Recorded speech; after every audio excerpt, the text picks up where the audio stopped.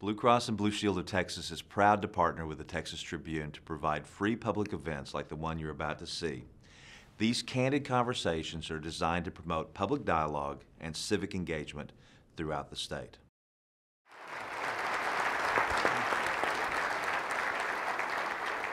Gentlemen, great to see you. Thank you. Thank you. Nice to see you. Nice to be on your home turf.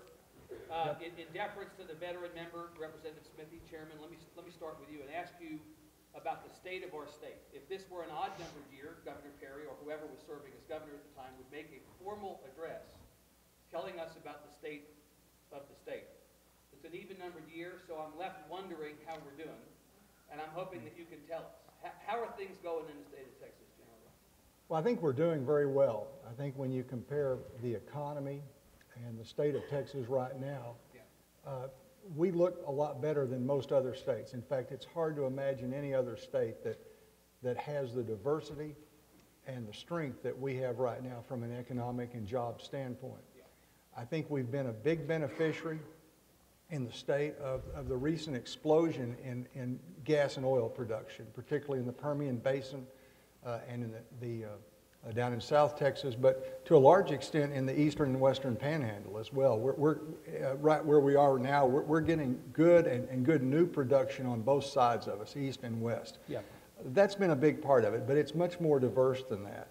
And, uh, you know, you look at Washington, uh, the federal government, you look at at California, and you see these massive deficits. You know, we, we balance budget in the state of Texas. We have no, uh, no deficit, no Right. deficit spending. And uh, we have this uh, reserve fund out there that, uh, you know, it has uh, multi-billions of dollars in it right now and is growing every day. Right. And so I, I think we have to say we're doing a lot of things right, but you still look at the horizon and you see the, the, the three big issues out there, education, water, and transportation. And you see a lot more questions right now than you see answers. Well, we're going to come to those, and I hope that you at least talk extensively about that. Senator Seliger, what Chairman Smithee uh, is talking about, undeniable. We weathered the recession better than any other state. We've created more jobs since 2000 than the other 49 states combined. By every economic measure, we're doing great. We're also adding, and we like to brag about it, 1,000 people to the state a day. People want to come here. They're voting with their feet, but they're not bringing public education. They're not bringing water. They're not bringing health care, and they're not bringing asphalt. So at some point, you wonder whether we're a victim of our own success. We have been successful, as Chairman Smithee says, Chairman Seliger, but at the same time, we are strained in terms of our resources. What do we do about it? That's why I think probably we should not fixate too much on the state of Texas today, but the state of the future of Texas. Yeah. How are we positioned to address the issues that clearly are going to face us? Yeah. A state that grows by 400,000 people a year, and, and certain members of that cohort are going to have to access the healthcare system, the criminal justice system, mental health system, and things like that. What are we going to do about water for the future? Even in, in areas where there are potential water deficits like the Texas Panhandle, we have water supplies for the next generation, two or three. But you have to look at a state in terms past those generations. What about a century from now and a century from then? Yeah. We want to see livability and sustainability all over the state of Texas. Uh, we are in position to address a lot of those issues, but we're going to have to work very, very hard at it because the issues are many, very diverse. The solutions are just as diverse, and a lot of them are going to cost money. Are you optimistic, Chairman, about our ability to solve those problems? I am always optimistic about well meaning people when they have as many resources, human and otherwise, as we have in the state of Texas to address those problems. And, and yet, Representative Price, the, the, the tension that you're hearing, I think, is legitimate. On the one hand, a worldview that says we don't have a revenue problem in the state of Texas, we have a spending problem, we need to live within our means constitutionally. On the other hand, we don't have a spending problem, we have a failure to invest in the future. These really seem to be the competing tensions. And in your party and in the legislature today, there seems not to be an enormous appetite for finding lots of additional revenue and spending lots of additional money. So, what do we do about that?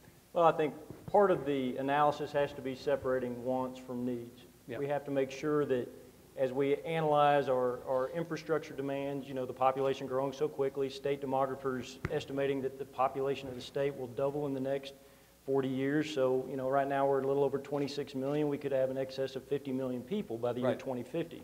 And as that, you know, uh, puts stresses on our transportation system, on our healthcare system, on our public education system, on our criminal justice system, I mean, you, you, you can't really provide essential government services without uh, recognizing there's, there's some increased demand there. So I think what we need to do is separate the wants from the needs, provide essential government services, don't raise taxes just to throw money at a problem. Right. Uh, what we need to do is prioritize, and, and we've done a good job of that. I think we've, we've had some, some tough challenges, you know, two sessions ago when we had a, a shortfall entering this session. That was a very different environment than it was in the past session Yeah. when we entered with a surplus.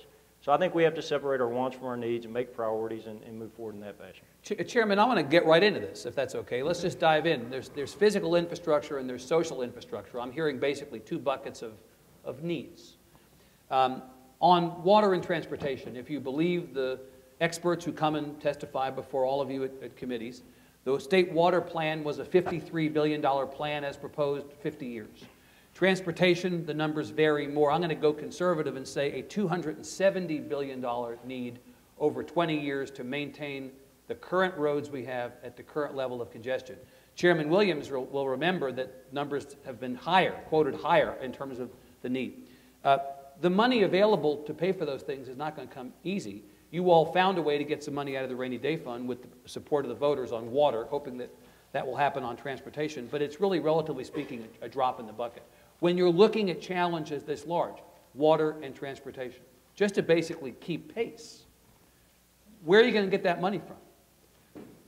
Well, uh, I think one of the things that, that the legislature has done wrong in the time that, that I've been there, and probably some before that, Yeah. Is you look at our highway system, we- we have, we have neglected our highway system. And so by several years of neglect, now you have this big bill at the end. Yep. Uh, The same is true with water. We basically uh, pretended we didn't have a water issue in Texas for several years, and now we've got a problem, uh, a fairly pressing problem. I think the, the key going forward is to try to, to, uh, to pay as much of these costs each year as we can, to, to keep up with the problem, instead of putting it off till tomorrow. I think that's the better way to manage it. Uh, But it, it will require money. Uh, Now, uh, I think, and- but it's manageable. It's manageable if you do it on, on a, on a bi- biannual basis, where, Yep. where you keep track of everything, keep it going as you go along. We're going to have a hard time raising taxes, taxes significantly. Well, you're not for taxes. You're No, not for new taxes. You're not for new taxes. You're not for new taxes. So let's just take that, Yeah. you three take that off the table. Okay. So then where, where else do we go?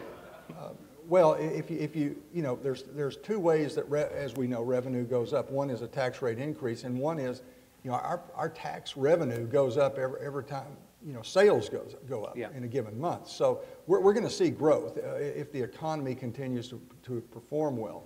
Uh, We're just gonna have to do what we do. We're gonna have to do it smarter, uh, more efficiently. Yeah.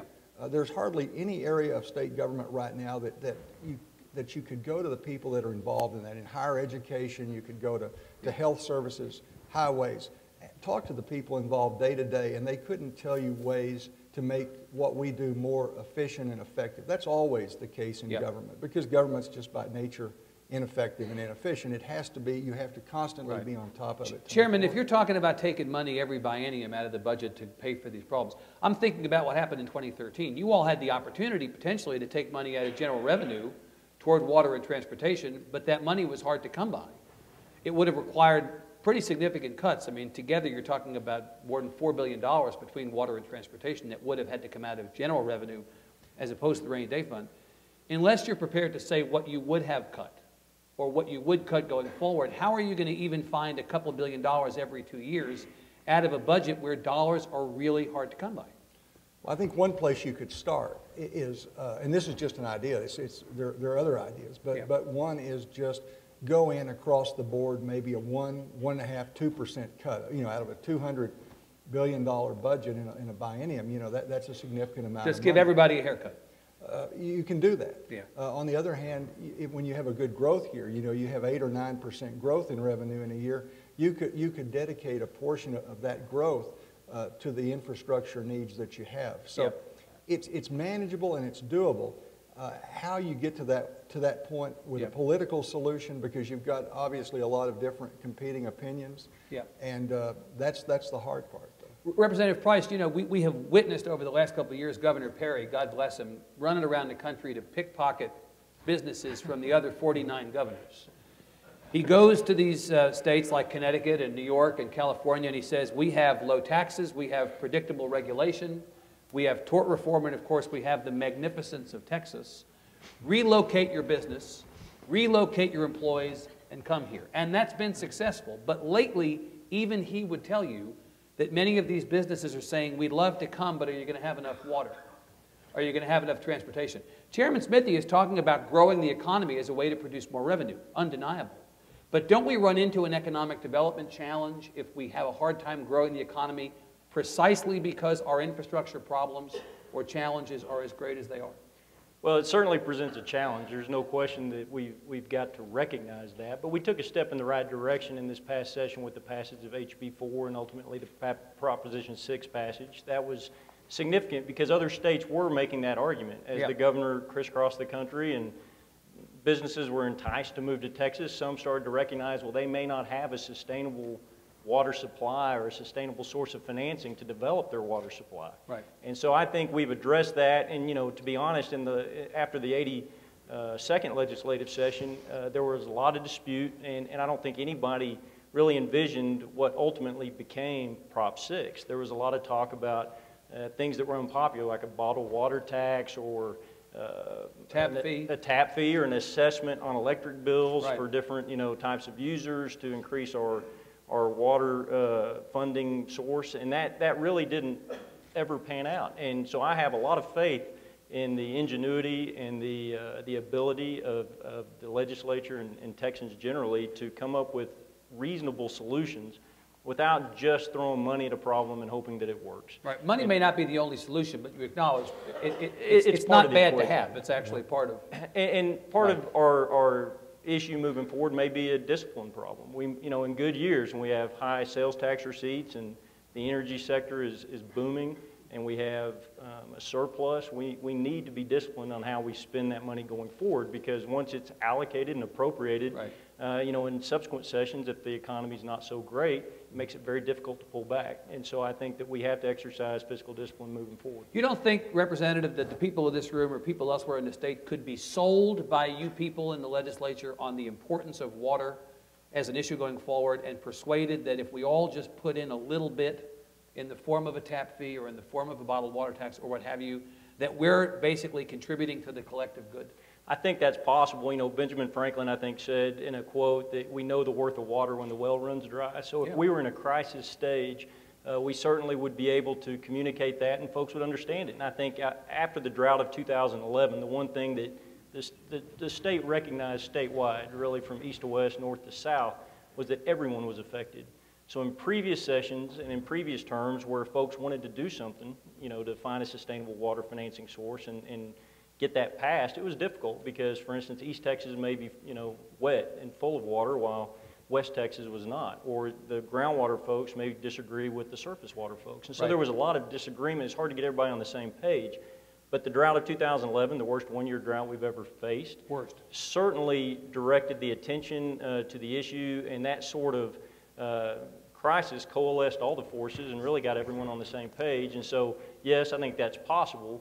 Uh, it depends on the circumstances, but it certainly, uh, I think we came out with a more preferable solution. Senator Seliger, Chairman, I'm going to ask you about the same thing on transportation. We haven't raised the gas tax in how long?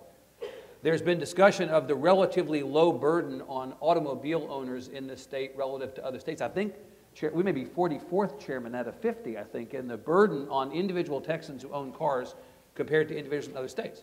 We have a relatively low renewal of our driver's license fee. We have a relatively low registration of our car fee. I'll keep looking at Chairman Williams because we've had this conversation before. Um, why could the people of Texas who hate to sit in traffic almost as much as anything not be persuaded that there are some revenue solutions to contribute to the problem? I mean, honestly, if we put 2 billion in toward a $53 billion water plan, that is, forgive the pun, a drop in the bucket. But if you put 2 billion in over a biennium, only a quarter of what TxDOT needs to maintain the roads, toward a 270 billion or more dollar problem on transportation, that really seems like almost nothing. So why not come to the people of the state and say, we need to figure out another source of revenue? the people can be convinced over time, and I think that is a process. And, and I think we had a very active discussion during the session under Chairman Williams' leadership about uh, an increase in the tax. A lot of people in West Texas feel that, that incrementally we will pay more in West Texas toward that than other people because the distance people drive Spend here. so much more time in your cars. Yeah. Right. And, and, but they also feel in West Texas that they will not receive a proportionate amount of money coming back. back to West Texas. There's a a legitimate area for resistance. When we talk about registration fees and driver's license fees, I think if there is going to be any movement, I think it will probably be there. But it's going to be a, a, a- matter of including the people in the state of Texas in that dialogue and having a productive one. Does the increasing uh, place or role of tolled roads in the conversation these days, I mean, I know it's not a huge percentage of the number of road miles we have in Texas, but we're hearing a lot more around the state about tolling as one way at this, Not in West Texas. not in West Texas. Along the I-35 corridor. But elsewhere, We'll see that, but remember the, the, the reaction and, and all of the, uh, the drama around a proposal in the I-35 corridor to have an increase in taxes locally yeah. by zip code, I guess, or area code for people, essentially a user fee to increase the tax in that area for mobility projects in that That area. area. Essentially a user fee that would affect people in this room almost not at all until we went to the Metroplex. And, and it ended up not getting a lot of mileage. It Yeah. cost someone a, a seat in the House of Representatives. And, and was considered an un-American proposal. It could only be implemented in this program with a vote of the people. And so it was fundamentally a matter of local control and, and local election and things Right. like that. But the people in that part of the state of Texas were having none of it. I- think that you've given the Amarillo Globe a headline. Seliger says increase in transportation revenue un-American. I think that's. I think that's excellent. I won't pay a high price for that. I like that. No, you- no, around these parts, you get more votes from. Uh, Chairman Smithee, let me move quickly from physical infrastructure to social infrastructure. We like to be first in everything in the state of Texas. Well, we happen to be first in the number of our citizens and the percentage of our citizens who don't have health insurance. Um, And we are first by a good distance over the next state uh, in, on, on the list. Um, It's a conservative state politically. Uh, Elections have consequences, peace. The conservative leaders of the state, including the three of you on the stage, and the conservative leadership in the legislature said we shouldn't expand Medicaid. We shouldn't embrace key aspects of the Affordable Care Act. So we know what you're against. Tell us what you're for. Tell us how we solve what has been really a chronic problem. Not just a Rick Perry as governor problem. It was a problem when George Bush was governor. It was a problem when Ann Richards was governor. But the magnitude of the population has grown as the population has grown. So what do we do about that? Well, we've, uh, you know, this is not a new problem. It's, it's been, we've had the, the highest rate of uninsured in Texas for probably three or four decades. Right. And, uh, you know, we've looked at every, for every way you could possibly solve it, if there is anything government can do. I'm talking about the private insurance market. Yes. market. And uh, one of the things that, that I wanted to know is who are the uninsured? I want to know who those people are. And so, you know, we, about four or five years ago, we, we had a, a select committee. There have been a number of those over the years. And we, we looked at who the uninsured are. And, and the, the, the thing that surprised me was that among uh, Anglo uh, population, among uh, uh, uh, African Americans, we were pretty much where everybody else was in, in other states. We, we, we were well within the pack. Where we had our problem was, was uh, people of Hispanic origin. Now, okay, so we identify that's, that's where the, the impact is. And so we want to know why. You know, that's the next question is, is why are we lagging in, in that area? And, and there are a number of reasons. We, you know, there's some statistical reasons and some anecdotal reasons, but I think statistically, what you look at is the types of employer. Most people get health insurance through their employers Employer, if they have right. private insurance. Uh, there is a high rate of Hispanic employment with employers who don't offer insurance. It's you know smaller employers, agricultural, rural. So that, that's that's one reason. What part? Our biggest part of our problem is a demographic problem, uh, and and uh, there's very little that we can do by way of passing law to change that. Now, you did mention specifically the, the Medicaid, and, and you know you, you mentioned I think you phrased it that we didn't want want to do the Medicaid expansion. I, I don't know if it was so much not wanting to. Uh, from my standpoint, uh, and, and a colleague standpoint, as, as looking at the financial implications of the federal government basically saying, you know, we'll help you for a period of time, but after Right. that you're on your own. And we look down the road and, and we don't see how, how the situation would be manageable for, for the state Financially. financially. We, we just don't have the revenue to do that, and I don't know how we do raise the revenue to, to, to, uh, to spend that much on, on, on Medicaid o- over a long period of time. Of course, Chairman, there's a cost to doing nothing. I mean, I know that the legislature doesn't want to do nothing. But the percentage, if I understand correctly, you're all smarter about this stuff than I am. As I understand correctly, the percentage of the unrestricted portion of the budget that is represented by health care is by far the fastest growing part of our budget. Public ed for a long time was the far and away largest percentage of the unrestricted portion of the budget. Healthcare is now close to being equal or equal and is fixing to race past it. So while I grant you that there was a piece of this associated with the feds are going to give you 100% of the, of the Medicaid costs for a period of time and then 90% and eventually trickle off, at the end of the day, that's money being left on the table, and at the moment, we're not solving the problem, and at the moment, the costs are threatening to devour the entire budget. So help me understand how, how in the absence of an alternative, uh, uh, we're going to go forward. Or if there is an alternative on the table, tell us what it is. Well, I think, you know, you, you, you have two separate problems here. One is, is healthcare and the other is insurance, okay? And, and we tend to mix those together Okay. as one thing. Uh, I mean, to me, the, uh, the problem is systemic. You know, it, it, it's not an easy problem to fix. It's not, a, it's not one thing here or another thing here. It's systemic to the whole system of how healthcare is delivered, how healthcare is paid for in the United States. Uh, unfortunately, I don't think, I'm not sure that government can solve the problem because I think government basically caused the problem. I mean, you look back, and, and I think the three biggest factors that have, have served to cause a real issue here, I think by far the biggest is, is, is the way Congress and legislatures, Congress implemented Medicare and state legislatures have implicated Medicaid by reimbursing at less than, uh, than necessary levels. Well, what that is, is a very uh, insidious and, uh, and I mean, a very uh, evil tax that is placed on people who do pay for their health care because they are being forced to pay uh, basically a tax uh, to fund these programs that, that Congress and the legislatures didn't have the courage to adequately fund Right. or to raise taxes to do. And so that's, I think that's the big root problem, is the cost shifting that goes on and, and, and the unrealistic expectations that are placed on people who actually pay for insurance.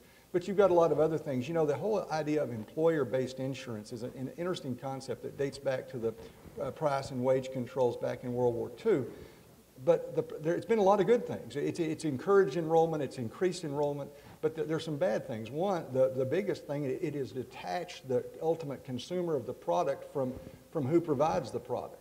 And so you don't have any market forces. Well, you'd like it to be portable, but for some people, they have to stay in a job they don't want to remain in That's the big thing. You become, insurance. you become a slave rather than an employee in, in Yeah. many cases there. So uh, all of those things that the government has done, either directly or indirectly, I think has led to this problem, and it's systemic. I think you, you're going to have to, at some point, isolate what the problem is and, and try to, to make the delivery of health care much more efficient than what it is today. And you can do that. But we have, uh, we have the best system in the world and we have the worst system in the world. Chairman, let me ask you about an aspect of this, Chairman Seliger. You know, the, the, I heard Chairman Smithee articulate what I would say is a commonly held position within the legislature, both the House and the Senate. But you know, at the county level, you have a lot of county judges who are out there fulminating for an expansion of Medicaid. And the reason is they see the uncompensated care costs rising, and they see that property taxes and other expenses associated with having to deal with the problem of the uninsured being passed on to people back home. And they say, look, you know, we really can't afford not to look seriously at this. So there's, again, a fundamental tension, state and local. What do we do about that? I don't think that people object, let's say, to this side of the room, all underemployed or unemployed with no insurance. Nobody wants them to go without health care. Yeah. It's, it's how you do it that matters. The question is, uh, who pays for it? Right. And the truth is, it's going to be business and people with jobs who are going to pay for it. And that's why the current system in place, I think, is a real job killer. The answer, I think, and it may be a stopgap effort, that instead of the current provisions of the Affordable Care Act, Yeah. federal block grants, money that's going to come to the state anyway uh, to pay for Medicaid, going to the states, let the states develop the exchanges and, and, and, and the mechanism by which that is paid for. Here's the harsh reality. If you take all these people without jobs and provide them insurance, and you take the 10% increase a year on health care costs, there is no real answer except it, it- it costs that continue to increase in an increment that's unaffordable. Right. And that's what we have to deal So you, with. so you are in the camp, Chairman, that you'd like to see the government drop an enormous cartoon bag of money with a dollar sign on it on our doorsteps. At this, at this moment, they're dropping that bag of money with a whole lot of strings attached. You want no strings. Well, a whole lot fewer strings. But as, as Commissioner Suehs pointed out at the time, that under the current provisions of the Affordable Care Act for the 10-year period 2014 to 2024, that it was going to increase state costs by $27 billion over the next 10 years. Yep. As creative as he was, Chairman Williams couldn't tell us where that money was going to come from. Yeah, got it. Well, I think it's responsible to look at it long-term because as the cost of healthcare consumes more and more of our budget, that restricts what we can spend on other areas On like other things, transportation. right. Oh, yeah. And one thing you asked what we can do, and, and, and I, I certainly think that we look at the, at, at the history of this and, and moving forward, doctors in Texas, you know, 14 years ago, in the year 2000, I think 67% accepted new Medicaid patients. Well, now that number's down to about 30, 31%. And so as the number of enrollees is increasing, the number of actual providers is decreasing. This gets to Chairman Smith. And it, it follows up on, on what he was mentioning there. So I think we've got to look at our, our infrastructure for indigent care. We look at, you know, maybe some non-traditional incentives for after-hours care, things that will allow folks who typically would go to the ER not to put such a high demand on the emergency room services that are being there because those are so expensive. And so I think we have to look overall, but if we don't maintain that discipline that I was referring to earlier, if we don't look at it long-term, we will see that cost consume so much of our budget that it's, it's the tail wagging the dog. Well, to the point that uh, Chairman Seliger, to the point that Representative Price is making about how this is a trade-off, spend money on something, don't spend money on something else. You've chaired the Committee on Higher Education in the Senate. You understand the challenges that not just higher ed, but also public ed face. It seems as if people believe there's never enough money. We can stipulate that money is not the only answer. On the public ed side, there was a significant decrease in funding in the eyes of some. Some characterize it differently.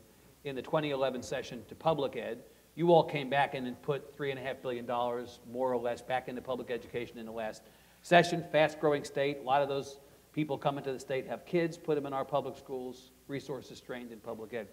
On the higher ed side, the state's share of funding of higher ed has steadily decreased to the point that some people wonder if we're going to be out of compliance with the constitutional provision that we provide a university of the first class. Um, some people wonder if you get down to 12%, 10%, 8% of funding of higher ed, are you in violation of the word provide? So there's always a tension with money and public ed, money and higher ed. What do we do about that? I think university, the first class people normally refer to the University of Texas and Texas A&M as those flagship universities. As we sit here today at West Texas A&M, it goes a lot deeper than that and effectively there. Uh, we're seeing some things going on today that I think affect that. And we talk about things like early college high school, which is a partnership between independent school districts and community colleges where young people start taking college courses very early on. They graduate with a high school diploma, an associate's degree from a community college at generally no additional expense to the young person. All they need now is two more years of college to get a degree. Right. Distance learning and the virtual classroom are having a huge impact there. And They're uh, bringing costs down. Oh, unquestionably, they're bringing costs down. Lots of universities are going in with fixed tuition plans as well as the 10-year degree, which is being implemented in places right here today. And so there are a lot of approaches to that, but once again, higher education is the same boat with, with every other spending priority. Yeah. Once you do 40% for public education, 30% for healthcare, you've got 30% left for everything, Everything else. um, and and it, when we talk about the, the, the constitutional involvement there and commitment, it's not the same as that, that that's talked about in the Constitution for public schools. And I really don't think we're going to see Chancellor Sharp sue the state of Texas for funding. as the, as this certain number, 600 school districts have done. And Chairman Smithee, that lawsuit on public education is now working its way through the appellate process. The initial ruling by Judge Dietz in Austin uh, and people who don't like his ruling make certain to say that he's an Austin judge who, who, who ruled it, uh, was that the state may be underfunding public education to the tune of $2,000 per enrolled student, which would be a $10 billion hit annually or a $20 billion hit over a biennium. Now, the Supreme Court could come back and the calculation could be different, and who knows what's going to happen.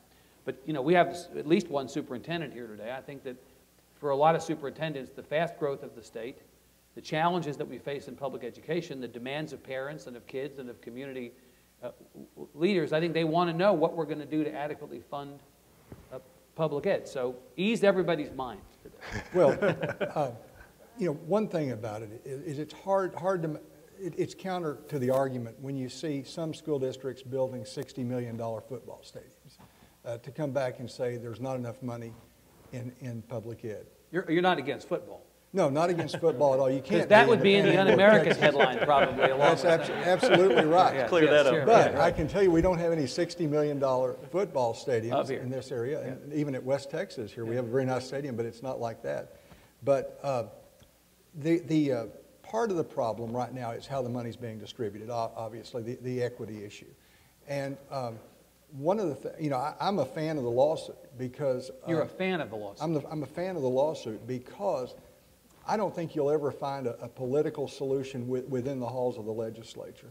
Because the, for instance, our problem up here is, is, the formula that's in place now, I, I think to a large extent discriminates against rural school districts, but it also discriminates against uh, slow, slower growth districts. It really benefits the faster growth suburban type districts. That's where the votes are in the legislature. And so, Four and I, when we're in the House, we don't have, and Kel in the Senate, we don't have the votes to win that fight. And so you're never going to get a truly equitable system, I don't think, out of the legislature. I, I think you're going to have to have judicial intervention at some point.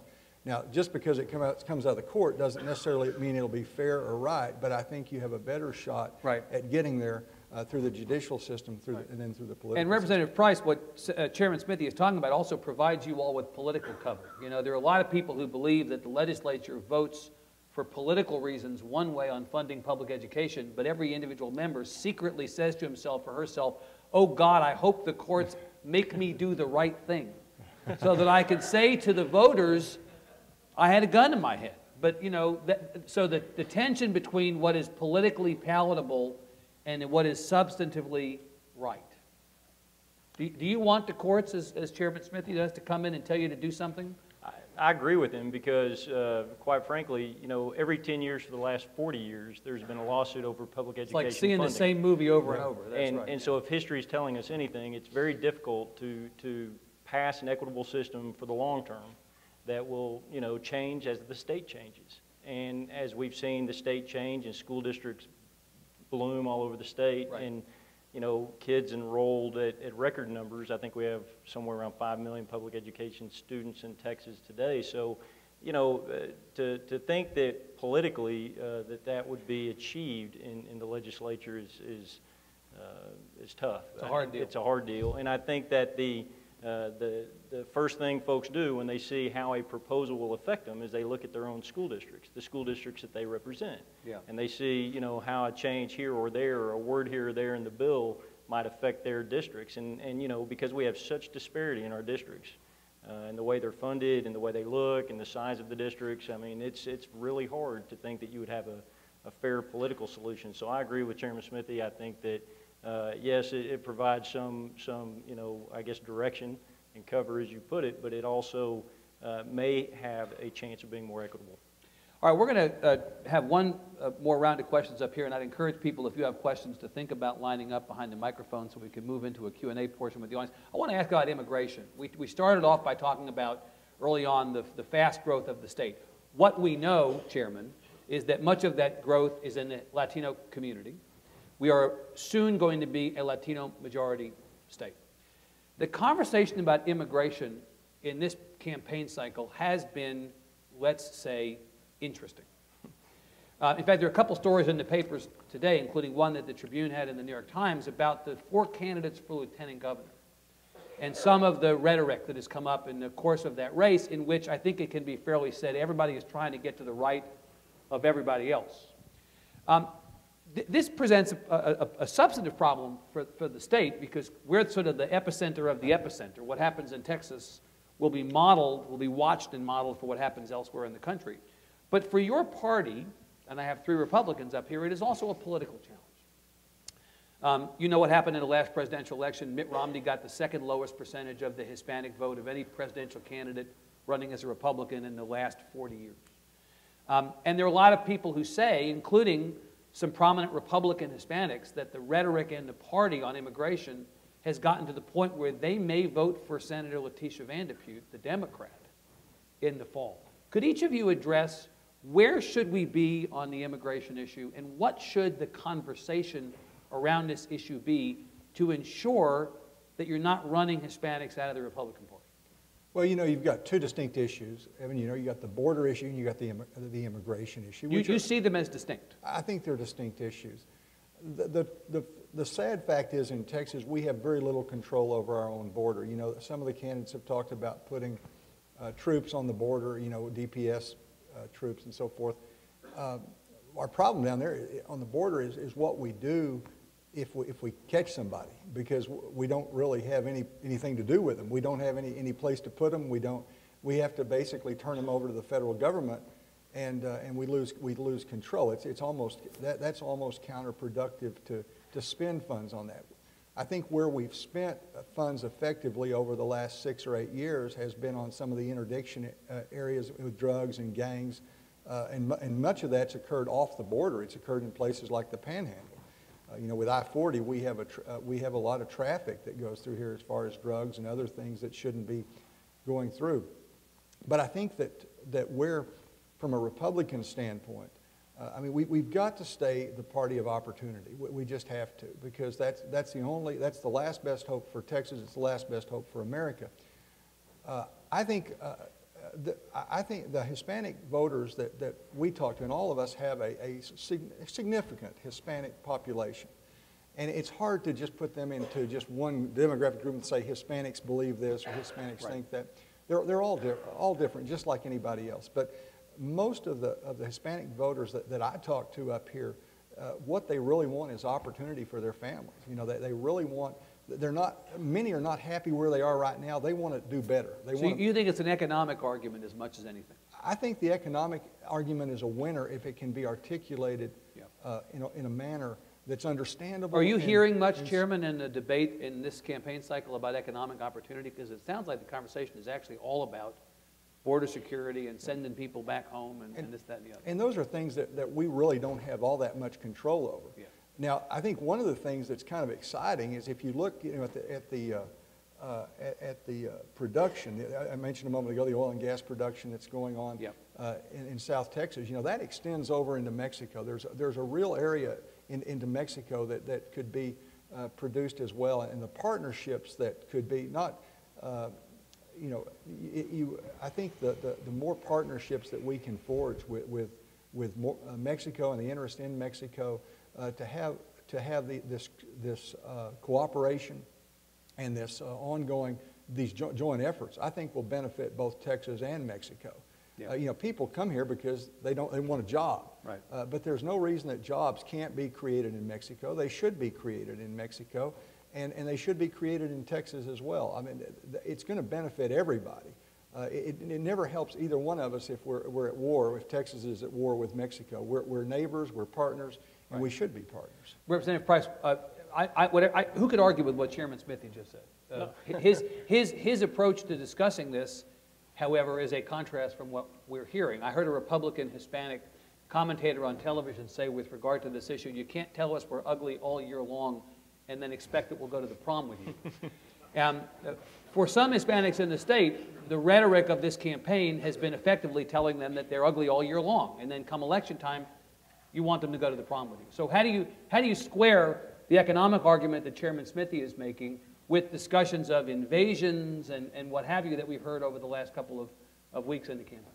Well, it's a real challenge. I don't think uh, always that the party has done the greatest job, or members of the party have done the greatest job explaining themselves or making that message very clear, because we are the party of opportunity, and we need to be more inclusive, not exclusive.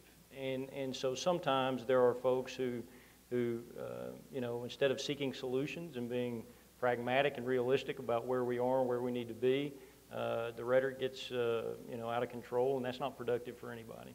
So frankly, I, I think the economic argument's a good one. I think the basic principles of, uh, of the Republican Party are attractive to Hispanics and Hispanic families in the state of Texas. But I also believe that, um, you know, they're distinct issues. Uh, legal and illegal immigration, of course, are distinct, and the immigration issue and our border security. Yep. Those are distinct. And, and we have spent $300 million a biennium, I believe, on our border security. And so we, we, we do value the importance of securing our border and making it safe. I think that's very important. We don't want illegal human trafficking and drug trafficking and gang violence bleeding over not only on our border cities but eh, further into the state. But, you know, that, that often gets wrapped around the illegal immigration, you know, dispute or discussion. Well, part of, part of the reason, Representative, that it gets wrapped around it is it's a bit of a dog whistle ideologically, is it not? I mean, there are signs being very clearly sent to certain people who might turn out in a primary where the number of voters is so small that every vote counts. So a lot of the conversation I mentioned is, is taking place in the lieutenant governor's race. Have you endorsed in that race? I have not. Have you endorsed in that Not- race, not Chairman? formally, no. Have you endorsed? You know these guys. You, you work for one of them in the person of Lieutenant Governor Dewhurst. Members of the Senate do not work for the lieutenant governor. Well, he's the presiding officer. I mean, you work for the people of this peace. You work for the people of the state, but surely you know what I mean. He is in a different branch of government. He's in a different branch of government. Oh, really? Okay. Let me, let me rephrase. That being let said, me no. You occasionally see him in the washroom. How about that? In the Senate. Okay. Okay. You'll, you'll, you'll accept that one. Who are you endorsing in the race? I have not endorsed You will not endorse. Do you think there's a problem here that you guys have, you Republicans have to work on? Rhetoric versus substance? Truly exemplary leadership is always a challenge. Yeah. The kind of people who have both the sort of vision that's good for the state and, and, and all of its people and the pathway to get there. So, yeah, it's always a challenge. Um, as, as you look at the debates that we've seen and the stances that they have taken, present and future, not a dime's bit of difference in any of them. Right. I mean, the, re- the reality is, that this, this race and many of the other primaries, this is going to be decided, like they say in the BCS, on style points, right? It'll be style The points. difference between these guys is negligible on a lot of, and including on this issue. Yeah. Right. Uh, no, I haven't endorsed anybody. I've got a race to run, and I really can't concern myself with anyone else's race. And- Very politic answers. well, it's, it's absolutely true. I think that, that there are people among those that, that I think will do a really good job. Yeah. Um, and, and how will we work with them, both as an individual senator and as a body? Who is, at the end of the day, what we're looking for is who is going to strengthen the Senate Yeah. and make us more effective and, and more cohesive. Right. Okay. Well, let's, let's leave that there. Let's, because we, we, we, we could go on and on with this, I promise you. Uh, Anybody want to come in and ask questions? We've got uh, room at the microphone. I want to encourage you to do that, and we'll take as many questions as time permits. And if I unfortunately have to cut people off at, at a certain point, we'll, we'll do that apologetically, but we'll do it firmly. Sir, always good to be the first. All right.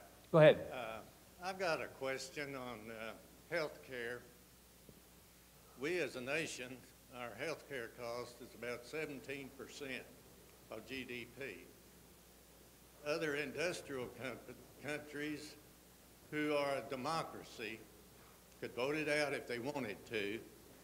Theirs is costing around 10 to 12%. Now, two questions. One, why is there a difference of that much? And also, is greed a problem?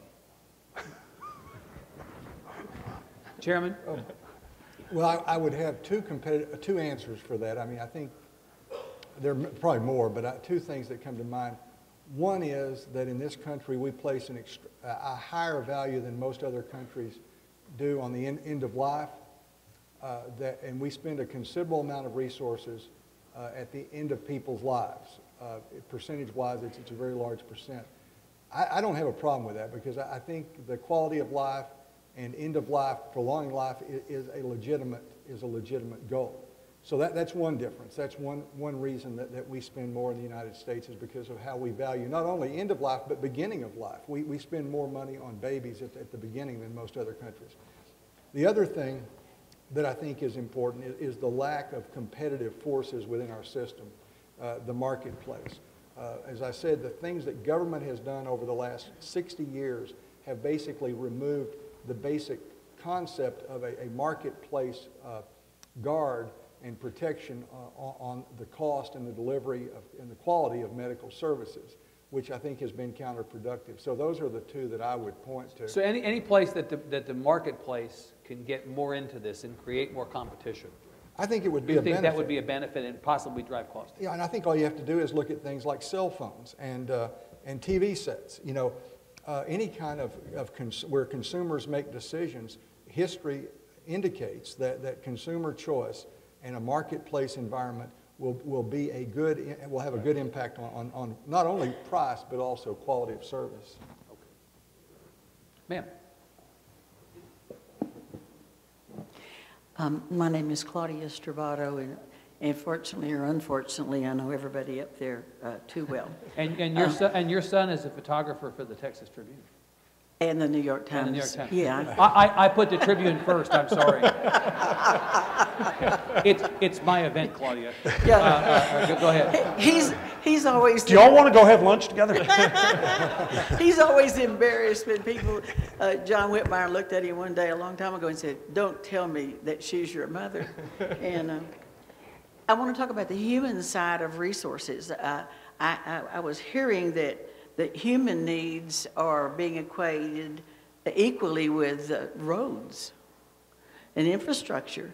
And maybe it's because I'm a woman that I think maybe human needs should be priority. And from a moral part of, point of view, I also think that.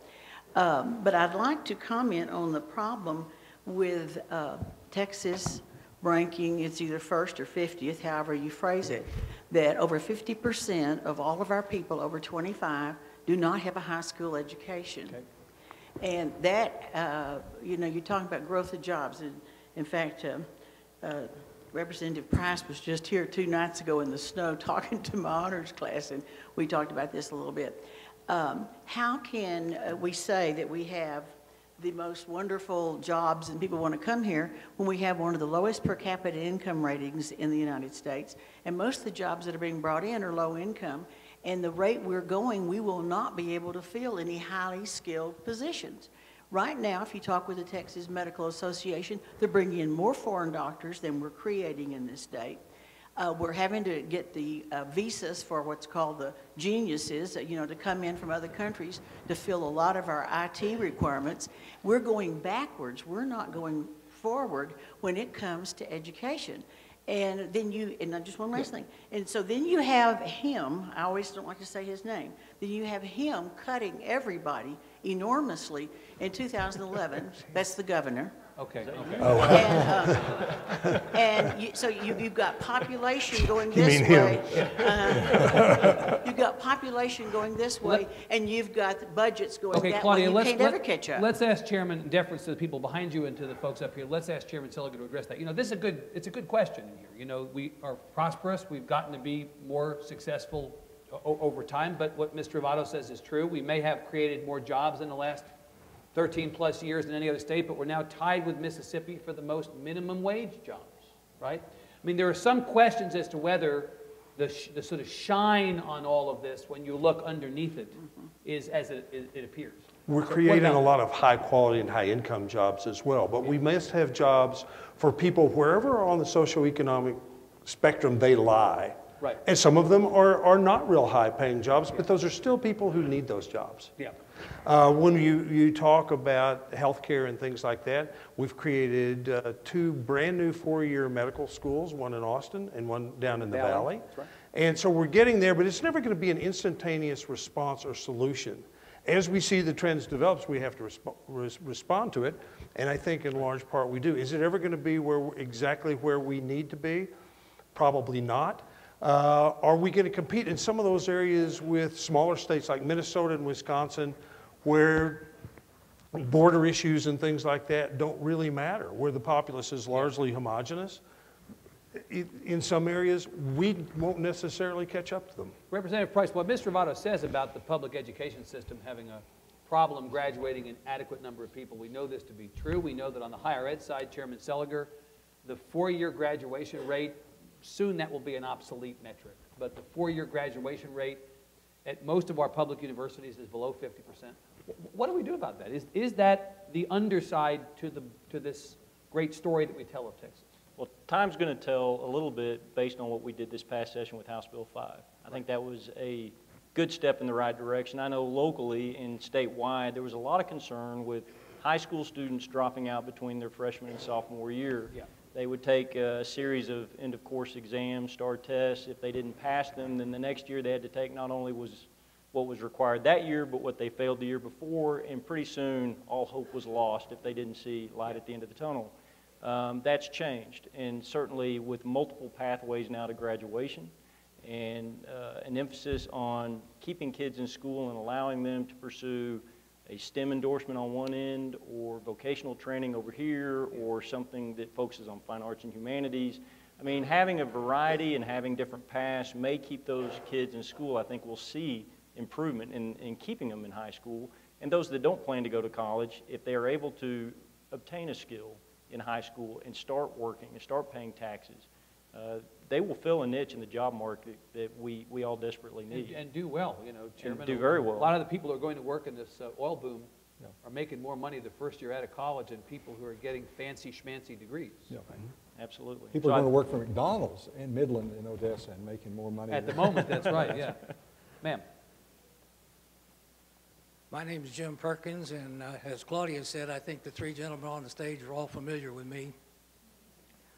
I have a, a, a problem with the education funding, and, and the reason for that is if we have trouble funding education, why is the legislature so dead set on funding through voucher systems, private and parochial schools, and also funding charter schools? Uh, and the charter schools argument that the vocational programs uh, would, would be, that, that it helps the vocational people, doesn't hold water because when I was high school principal in Tulia, we had an area vocational school. And some of the area schools that, that participated in our program helped pay for it, but also we got funding from the state. So doesn't it make more sense? Well, the I- fact- I- I the- well, the think- fact I think we're mandated for a public education, I, I think the fact is, uh, Ch- Chairman, the legislature actually overwhelmingly rejected vouchers this Yeah, last session, right? You know, the only real vote in the House that I know of was on the appropriation, as a right of the appropriations bill. It was, it was, Support wasn't there for it. it wasn't there. Wasn't there. So, yeah. But the char, but the charter, what, what, Mr. Perkins, the char, the charter piece of this is, I think what was being referred to as the expansion, not unlimited, but the expansion of the number of charter schools uh, that would be available as part of an expanded parental choice option. So if your kid's in a failing school, you have the, a greater ability to move your kid to a school that might work, it might be a public school, and there would be in places that can accommodate them more charter schools. Uh, Chairman, anything wrong with that? I- don't think so. Charter schools are public schools in the state of Texas. They don't operate the same as all the rest of the public schools, but. They have but- adequate accountability as far as you're concerned? Uh, It's developing, and I think we made some real progress this next time on getting rid of the ones that don't. They have to take the tests and things like that, as they should. It's, we're making some progress there. But people ought to have some choices. And I think charter schools very often provide that choice. They're still under the state educational system as they should be. Uh, We didn't expand the, the number of charters as much or as quickly as a lot of people wanted to see to it that our systems are in order so that the only charter schools that we have are truly good ones.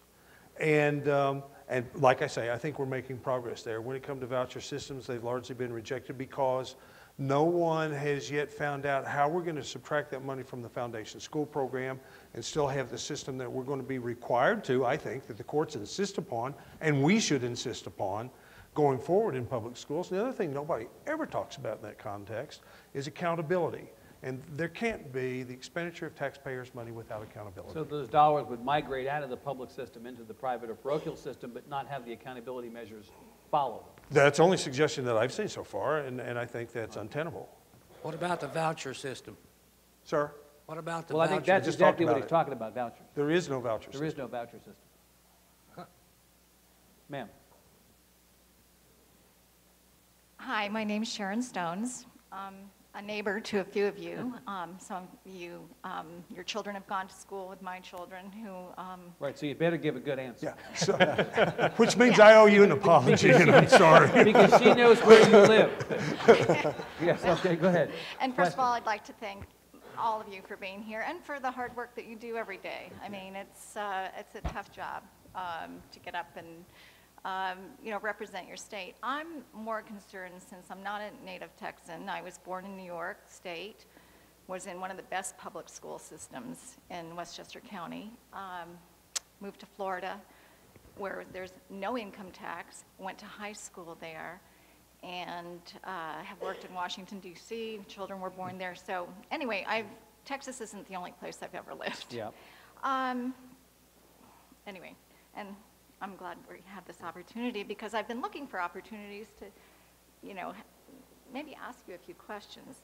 Um, and what I, you've talked a lot generally just about the state and a little bit about federal things, but what I've seen, and I've only recently become more politically um, interested or active, you know, a lot of us are very passive, um, about what's going on locally and what you have decided at the state level and voted on, and how that really represents and affects the majority of the population living here in Amarillo. I um, can speak just from a medical standpoint, since my husband and I are both in that profession, that uh, we have invited representatives to come to our office and spend the day with us. Take off your suit, don't wear anything. Probably, some people wouldn't recognize who Don't you wear are- anything? Who you are.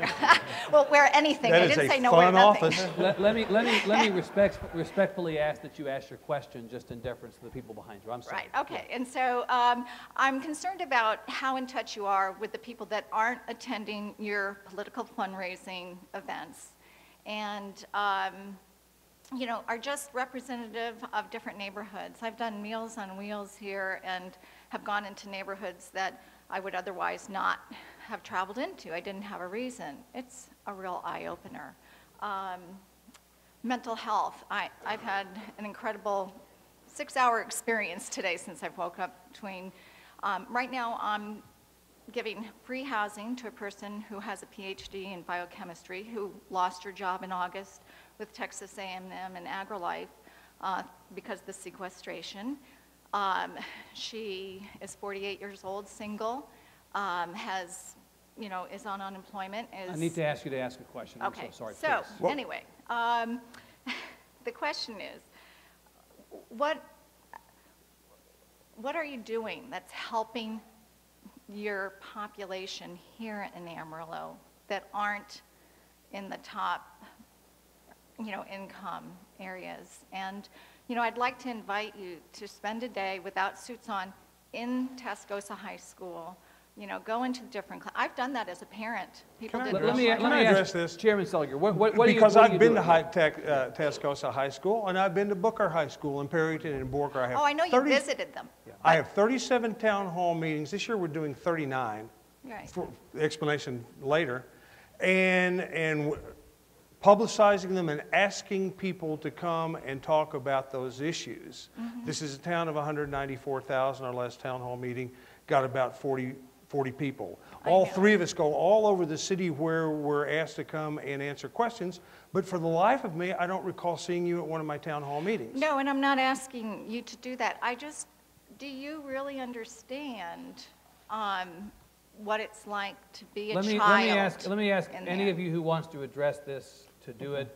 We're going to only now have time for one more question. I want to be sure we get to Okay. Well, one of the, I mean, I think one of the things about the, the, the system that the framers of our Constitution in Texas put in place is we all live in the community. I mean, you know, a lot of times It's you're. a citizen legislature. It's a citizen legislature. I mean, we go to the grocery store, we go to the barber shop, we go to the, uh, our kids are in public, all three of us have, ki- have had kids in public school. I mean, we, I think, have a pretty good feel for where people are, and it's, uh, you always have surprises when you find out that somebody is in a plight that you didn't know about.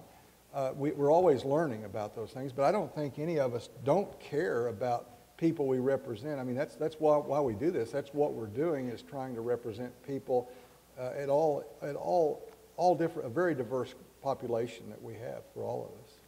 Gentlemen, right there, please, your last Okay. question. And I'm sorry we didn't get to your question, sir. Go ahead. Well, Thank you, Senator Representatives, for coming here today. Related to the last question, I'm glad to hear that you expressed concern about the diversity of the citizens of Texas. My name is Jamie Farron. I'm president of a local nonprofit that represents atheists and other skeptics. I'm also a member of the WT chapter of the Secular Student Alliance. And what I'd like uh, from you three today, since you're here, is to know what you're doing or what you plan on doing to say to the, the growing segment of uh, the population in Texas, atheists and other skeptics who don't have religious faith, what you'd like to say to them to welcome them to the community. Because I speak to people every week who feel completely ostracized for their lack of religious belief. Let, let me take the question and maybe give it a little bit of shape, appreciate it. Sure. So that you all get to, you know, a lot of discussion about the proper place for faith in politics. A lot of people think that sometimes faith plays too large a role. There are some people who think faith doesn't play a large enough role. What is the right calibration between faith and politics in Texas today? Let each of you answer, and then we can, we can uh, let people get back to their day. Sir. Personally, uh, faith plays a large part in how I make my decisions, but I believe that there is a proper balance between the services the state is offering and, and those who are receiving them. And so, if you're asking, you know, uh, can we make everybody feel welcome all the time? I don't think that's realistic, you know, but, but certainly uh, from a state's perspective, from the services that are being provided, uh, you know, the Constitution protects anybody's beliefs, whatever they are. And so, you know, whether you are receiving them or not receiving them, taking advantage of a, an opportunity, certainly that shouldn't uh, be prohibitive to you. But I, I believe that uh, everybody's entitled to their own uh, faith system, their own belief. And, uh, you know, from a state standpoint, we certainly, uh, you know, we say a prayer every day on the House floor when we start. Um, but you know, it's it's it's rare that, that I feel like somebody's being discriminated because of their beliefs uh, in, in, in a, whatever religion they're practicing. Chairman. I think, you know, you a- absolutely have the freedom to believe whatever you want to believe, but, you know, the- you've, you've got to look at the other side too. A lot of my Christian friends feel like they're being discriminated against now because it seems like the Christian belief and, and the, the principles that really were the foundation of this country are being removed from, from our daily lives. And so, uh, you know, i- it's not just atheists that may feel threatened. I think, I think people of faith are feeling threatened as well. And so the, the framers of the United States Constitution probably had the best idea yet of, of for there not to be a state religion, but also for people to be able to practice their faith uh, in the way, reasonable way that they deem to do that. And, and that we respect each other's beliefs, uh, but we, we don't interfere with each other's beliefs. Chairman, last word.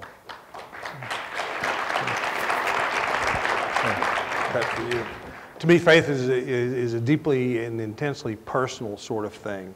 The one thing that you can be guaranteed of, I think, is the right to practice your religion, type, lack of, however you want to and, and whenever you want to. And I think that's a fundamental principle.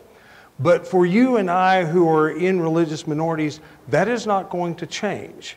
And we will see broad-based expressions of sentiment based upon the beliefs of, of the majority. The question is, is if that becomes either insensitive or discriminatory, that's where there's a problem. And, and I think we don't see that terribly often. The fact that you, you, you detect in some communities a negative response to your practice, I think it's, it's probably a fact, but a lot of people feel that way.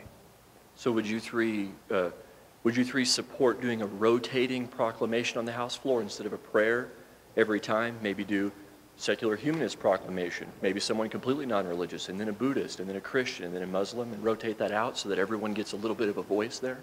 It, it's fine in the Senate, there are 30 Christians, and, and I think that that will be sort of slow to evolve. All right, let's, uh, let, let's leave the conversation there. We appreciate so much your questions. Sorry we couldn't get to all of them. We especially appreciate these three making time to be here today with all of us to talk about these big issues. Can we please give John Smithee, Kel Seliger, and Four Price a hand? Thank you again to West Texas A&M, Mr. President, to our sponsors, thank you, and to all of you for coming. We'll see you back up here again soon. Thanks very much.